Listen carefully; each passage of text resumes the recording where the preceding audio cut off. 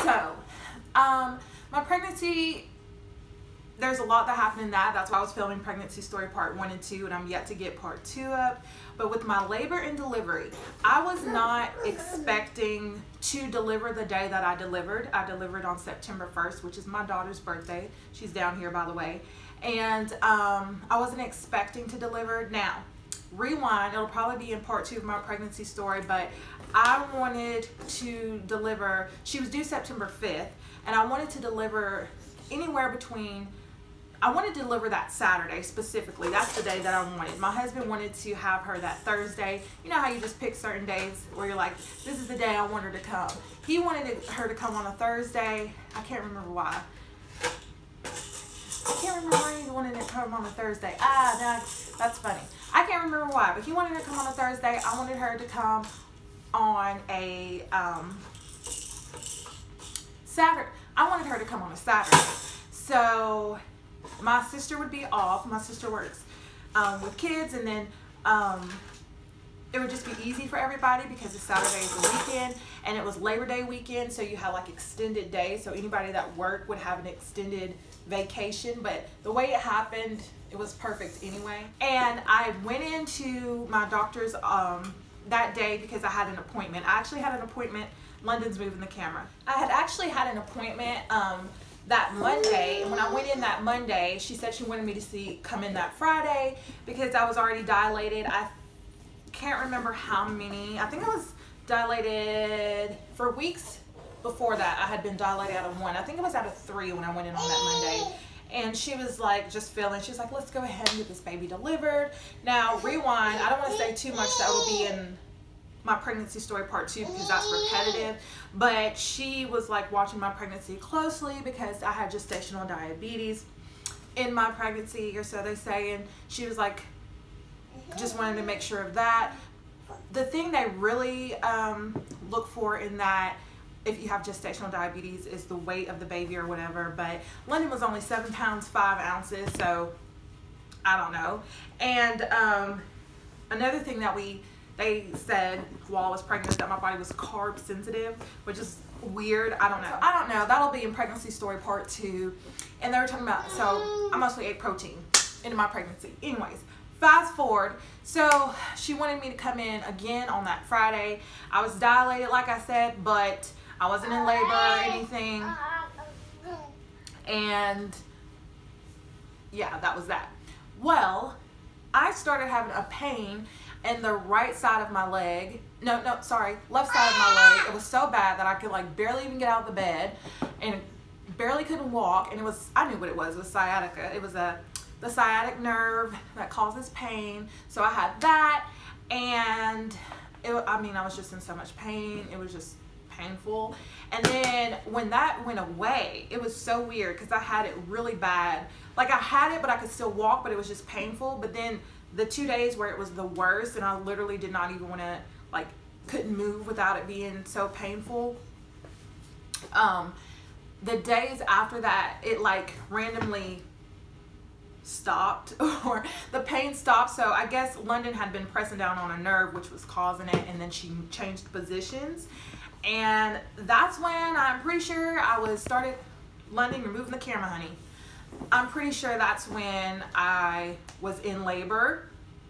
Um, but I wasn't having contractions. But I okay, so I'm gonna have to explain that. I was having contraction, but contractions, but I wasn't feeling them. What I was feeling was anytime I would go to use the restroom, I felt like there was I don't know, like pressure. That's what it was. Heavy, intense pressure and I was like, okay, um, so I'm feeling this pressure. I mean, a lot of pressure, almost like if you need to go to the restroom kind of pressure down there. And I'm like, but I'd already had my doctor's appointment on that Monday, and they said like she had been down, um, head down for a few weeks since at that point. I think she had been down, head down since like 36 weeks, and I was 39 weeks. I forgot to mention that.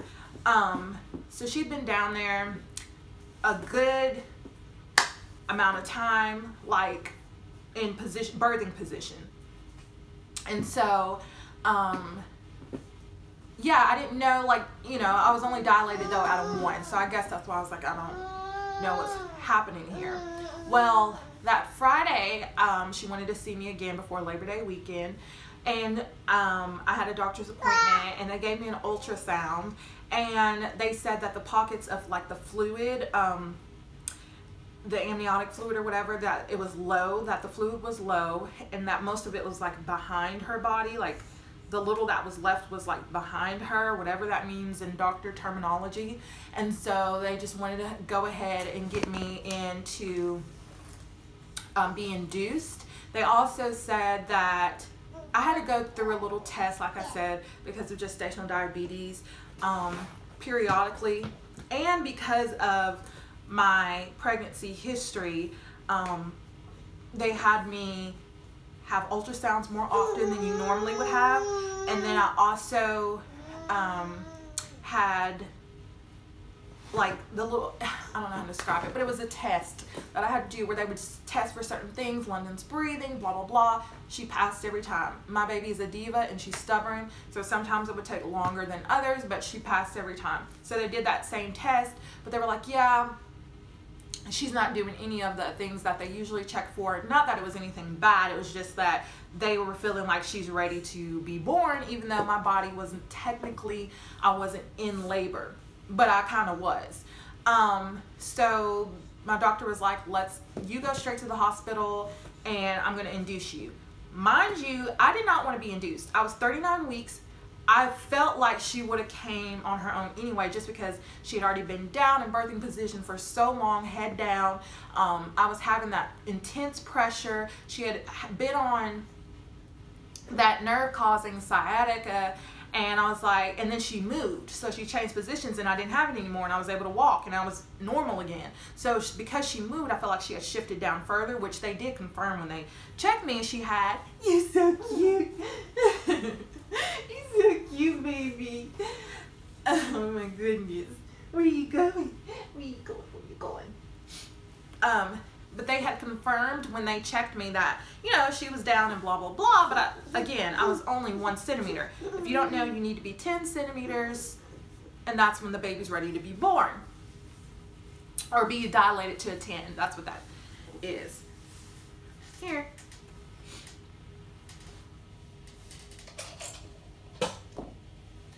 Um, so you need to be dilated to a 10. And I was at, I had been at a one or almost a two for the longest. And I think I was a three. I was a three. The day that I went in to have induced, I was a three. So they checked me, I was a three. Um, so I went in and she was like, you know, just go straight to the hospital. My husband even couldn't even go with me. He had to go um, to get our stuff. We weren't ready. We weren't prepared. I wasn't prepared to give birth. And my mom was staying at her house because she was going to be there. And so nobody was prepared for this. We just thought it was a regular doctor's appointment. Um, I wasn't prepared to be induced. I didn't want to be induced. I was 39 weeks. I wanted to go full term 40 but I was um I was 39 weeks in like a few days. So I was almost 40 so I was just like why not just let her come on her own? I just had heard so many horror stories about being induced and my mom had been induced with my younger sister. And it's just usually when you're induced not always um it can just take longer or it can be harder labor and I just didn't want to go through any of that. But we can say but God on that one. Um so I went straight to the delivery room to like you know, not the delivery room, the hospital, check in and all that. And my husband went to get my mom and our stuff. They checked me when I first got to the hospital. And I, like I said, I had already felt like I was in labor. And when she checked me, she said I was like a three and a half. This is before any induction medication. So I'm dilating and clearly in labor before I was even induced. But I still, um, they still wanted to induce me and to hurry up and get her out. I'm guessing because of the low fluid. Like I said, I'm not a doctor. I'm just going off of memory and stuff that they So I was in there, um, they checked me and I was already dilating. And she was like, oh yeah, you're dilated this far. Let me check see if you're having contractions because, you know, you're dilating. And she's like, I was having a little bit contractions, but not really. And I was like, okay, well, that's why I haven't been feeling anything or whatever. Mind you, I'd already prayed. And I am just that type of person. I believe 100% that, you know, prayer works and if your faith is at a certain level that he'll meet you at that certain level and i had been praying the whole time during my pregnancy that when i went into labor i wanted a quick labor quick easy pain-free labor and delivery i wanted an easy quick pain-free labor and delivery and i really you know believe that god can do anything if you ask him and you believe and you have faith so i wasn't having contractions and then they put me on the induction medication, which causes your body to speed up labor um, and forces your body to have contractions, and it just speeds up the whole labor process. Um, and so they did that, and what I started feeling. Oh, by the way, I should tell you, my husband did make it back to the hospital, him, and then my mom, and um, one of my sisters and my nephew had come. They were at our house, but he had brought her stuff, and my mom and all of them came. And I was in labor, and then she had checked again, um, and I was having contractions. But this whole time, I knew I had been in labor even before I went to my doctor's appointment. I wasn't feeling contractions, and she was like, "Are you feeling those? You're having like, you know, pretty big contractions." And I was like, "No, I wasn't feeling anything."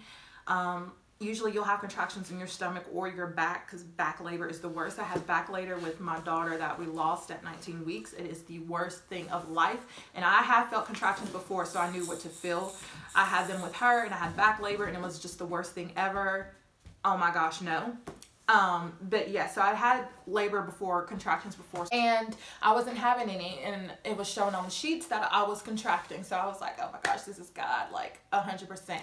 Again, like I said, when you get induced, labor's usually harder and just longer, and it can be, not always. Anyways, what I did keep feeling was pressure like that pressure I told you about earlier. And it literally felt like there was a bowling ball down there, like, and clearly it's a baby, but I just don't know how else to describe it, but feeling like a heaviness that you needed to release. Like you have to use the bathroom, but it just kept getting worse and worse. And that was what I was feeling. So I wasn't feeling, you know, my contractions, but I was feeling that pressure. Oh, that pressure. And honestly, that pressure was awful. It wasn't bad as contractions, but it, it didn't feel good.